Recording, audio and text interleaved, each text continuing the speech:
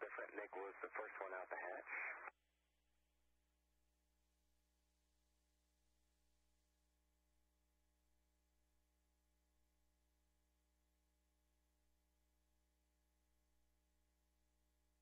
Here Bob and I being put into the station airlock in preparation for the EVA. I'm already in head first, and there's Bob waving. He's uh, going to be put in second. Going to open the hatch today, and Bob's going to uh, operate the uh, control panel for the airlock. Our two uh, suit-up experts were TJ Creamer, seen here, and our commander George Zamka. And they got us out the door in, uh, I think, record time for this mission, and in really great shape to do our last EVA.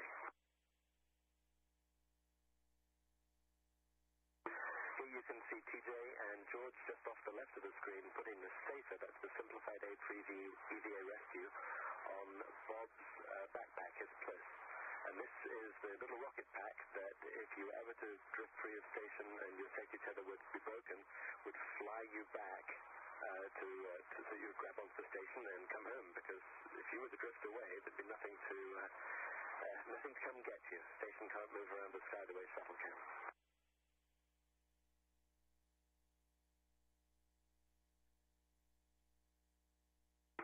George on the left. On goes Safer, and the next thing will be Bob going feet first into the airlock. This is really, uh, in terms of EVA preparation, one of the easier times for the EV crew member because you don't have to do anything. You just hang onto a handrail and uh, somebody else does all the hard work, as you can see.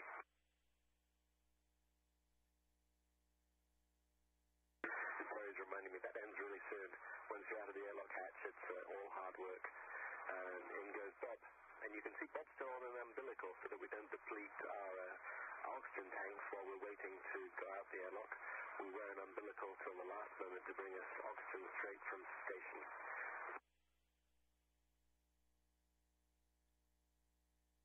TJ on the right there is an uh, Army helicopter pilot, very experienced helicopter pilot.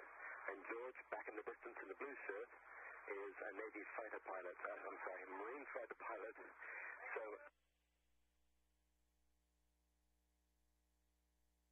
George is a Marine fighter pilot, so uh, we have in very, very experienced hands as we get put in the airlock.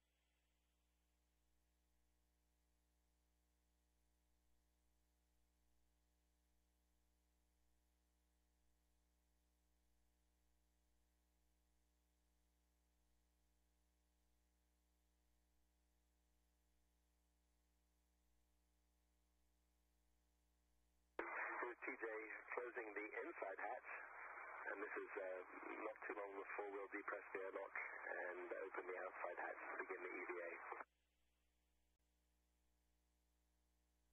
Oleg on the right in the Russian in the red shirt is a Russian cosmonaut here on the International Space Station.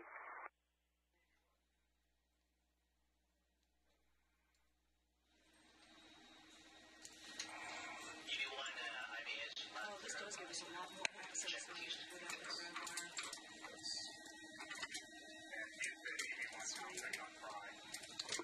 Here we are back in the cupola. Um, Kay and I were there um, most, most of the day. Um, doing various various connections and uh, fittings, and, and basically it's called module outfitting, getting the cupola ready for its permanent life here on the space station. This particular task was hooking up some water lines, and there's really, really tight connections and a very hard, very high torque that you have to do. So there's special tools that we have. They're pretty tough to get fit on there. So we spent a couple hours getting these uh, these different connections hooked up. And uh, um, the person in the green shirt there is an Air Force pilot. Just to be clear. And uh, here is the view from the cupola pre-window opening. And, the, and uh, during the spacewalk, Bob and Nick, one of their tasks was to go out and remove some launch bolts that held the windows in place. So until they did that, we could not open up the windows. View of Stevie Ray Robinson, um, a civilian pilot, and he, he was busy. He spent most of his day in the cupola and those three turning wrenches and, and doing various tasks that we had. Along with us was Jeff Williams, and he was really kind of the bedrock for everything that we did. He's an expert on the station. He's very efficient. He's been really helping us get everything done. Kay is putting together a, uh, uh, one of our boxes. It's called an HU. It's the communications box. And that those two hoses were water lines that are used to cool it. So that was uh, one of our tasks today. Here's a view from the docking compartment. You can see the several robotic arms, the shuttle arm and the station arm. And there, on the cupola, you can see Nick Patrick doing his work. This is a, just a wonderful view that they have from the Russian module. It's called the docking compartment. And uh, you can see him doing work there. Nick's floating up to take a look at this. You haven't seen this yet. These launch locks were, were a lot of fun. There were 21 bolts. Um, they, uh, some of them were stiffer than expected, but uh, I think it took the best part of an hour to unback them all out. And as soon as I did, the, the window shutters were visibly loose, and um, the windows were opened a few minutes later.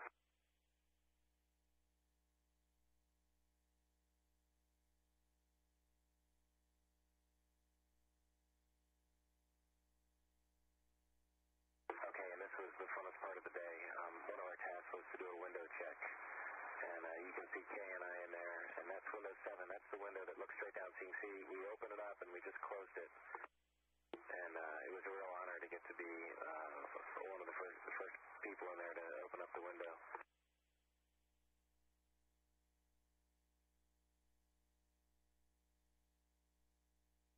We had to coordinate with Bob and Nick be sure that they were complete with their tasks and that they were not uh, in the way. And so there was a little bit of coordination between us and the shuttle, which is where Stevie Ray and Zambo were uh, conducting the spacewalk, and the ground where they were tracking things also. So that was uh, that was fun. It was a good example of how we coordinate between station shuttle and the station control room on the ground in Houston, and also the shuttle control room on the ground in Houston. There's a lot of people doing a lot of work for this mission, and there Kay just was the first person to open that window, and she's taking a look outside.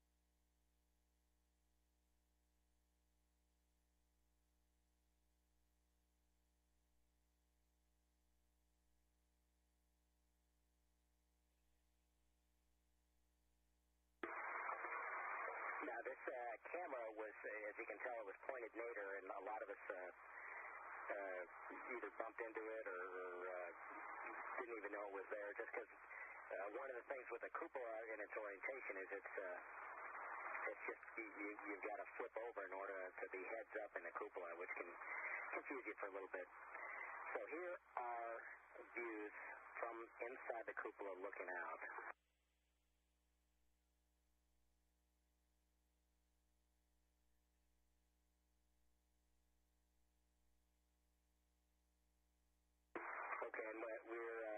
We've got several of these, uh, but uh, uh, just witnessed a spectacular uh, sunset from Cupola. And one thing that that uh, unlike a flat window or a paned window, when you have a uh, hemispheric window, you don't have to have your face right up there. You can actually back up and, and uh, just take in the whole view. But uh, you can pretty much see the whole Earth uh, out that window. We've got more coming. This is uh, the conclusion of the EVA, and uh, we'll let this go for a while. But this this is uh, Bob Behnken coming on in, and uh, you can tell that there is a massive bags. Uh, that front bag, I believe, was the the MLI from the cupola that was uh, coming in. And Bob, of course, comes in head first, and uh, Nick was outside, and Nick was handing him more bags. So this is kind of like packing for a for a vacation, uh, you know, in a Volkswagen Beetle. You know, it's just very limited volume uh, to put your stuff in. And of course, uh, the, the spacewalker, we still have one spacewalker to go, and he is going to come in feet first. And so uh, this was uh, I was filming this, uh, and so it, it took a little while to to get Nick up there, but just his feet coming up there shortly, and then the two are they're well, no, it's another bag. The two are in their kind of reverse uh, attitude, and uh, Nick's job today was to close the hatch.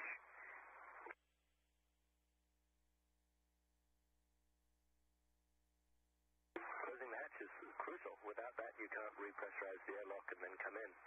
In fact, without that, they won't let you in because there'll be a hole in the airlock, a really big hole. Uh, the hatch is hard because it swings into the airlock before you can lower into the, what effectively is the airlock floor. And I think there you can just see uh, me coming in, feet first, through that hatch uh, opening.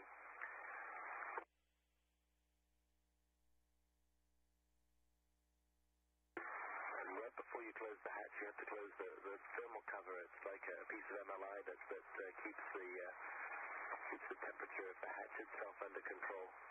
All these things are actually quite difficult, and this was the first spacewalk in which I operated the hatch on uh, spacewalks 1 and 2 that had been done by our EV1 Bob Behnken, whom you see right there through the uh, hatch window this time.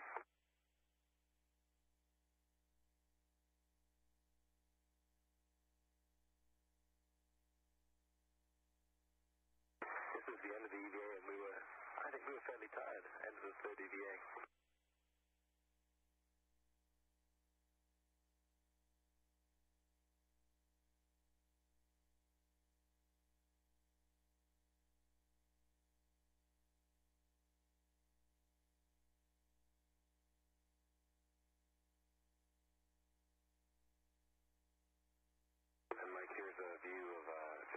From Cupola. I think we did some footage here. The last one was the first time that we had all seven windows open.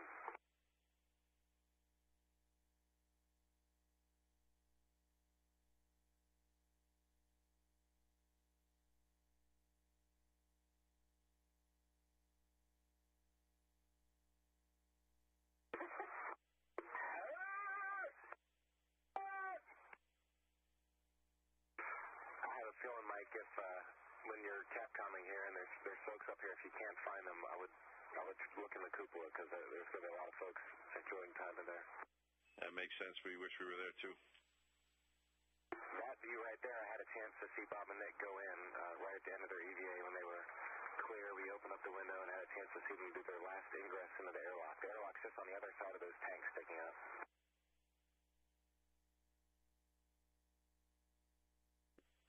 Terry, and I can't thank you enough for that. It is just awesome to get a chance to see that. Everyone here working in the control room and anyone watching on uh, NASA TV, I, I know is thrilled, and you know, for the team here especially, all the folks that put all that hard work into to get to see that video is just uh, just spectacular. So thanks so much. We look forward to getting the rest of it here in a couple minutes. Thanks, Mike. A lot of people worked really hard there in Houston and also in Italy who uh, were partners in building that module, so it's great to see it here. I'm sure if they could, they would tell you prego, which means you're welcome. Grazie.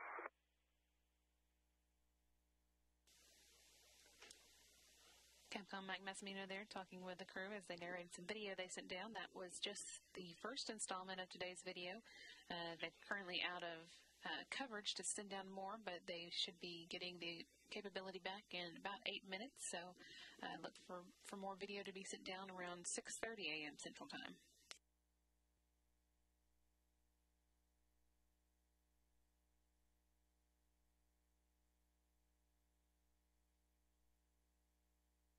And we're getting good video down here. Looks great. Excellent. Okay, I, I don't think this uh, bears too much narration, other than it, it's uh, really neat to stick your head out and look at the station. Uh, you can see uh, the Progress, the Soyuz. You can see right in the payload bay of Endeavour. Uh, you can see both robotic arms, the truss. Uh, you you really get a sense that there's a, uh, a whole big station around you, um, which is which is really neat.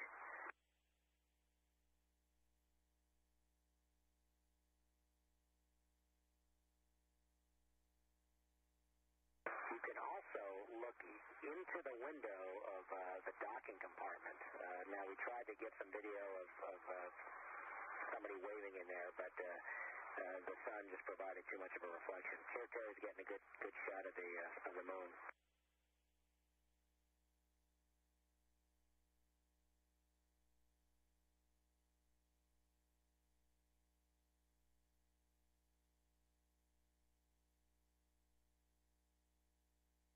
One thing about uh, looking out through the cupola that struck me right away is that you don't get a view like that anywhere else other than EVA. And in some ways, it can be even better, better less restriction, uh, less restricting than being inside that helmet. For instance, in the EMU, you can't really look up at all, and you're quite restricted left and right also. And here's uh, 360 degrees around and up, and all squashed in with the rest of your crew. So there's uh, there's some elements that are like the EVA and some some that are maybe even better. Steve, that sounds awesome. Unfortunately, we lost the signal for the last little bit of it. If you can uh, hit pause and rewind a little bit. Mike, that was the end of our flight day highlights, and here is a um, Zambo gave me a tape, and I just did a 360 degree tour. So I think narration will just detract from creation there. I'll let you guys watch. Okay, we're getting a good uh, downlink again. Thanks.